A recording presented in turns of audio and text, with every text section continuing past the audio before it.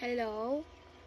I love to stay at CCS because the school is nice, the teachers, staff, principal, and all employers are friendly and respected. Method of teaching is excellent even before and during pandemic. Student-centered din po ang pagtuturo. We are given the chance to think, interact with my classmates and teachers. Tuition fee is affordable naman po. I like CCS the most as I feel at home. CCS is my second home. Second mother ko ang mga bright and considerate teachers here.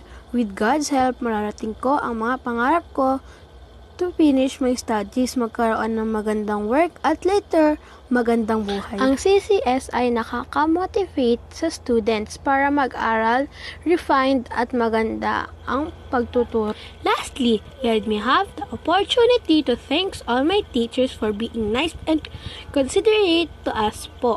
Kayo, kayo po ang naghasa sa akin upang maging sino at maging mabuti. Ako ngayon at bukas, I will treasure the learnings and lesson I learned so much po. From all of you, mula sa puso, maraming maraming salamat po. My teachers and my CCS family, love you all!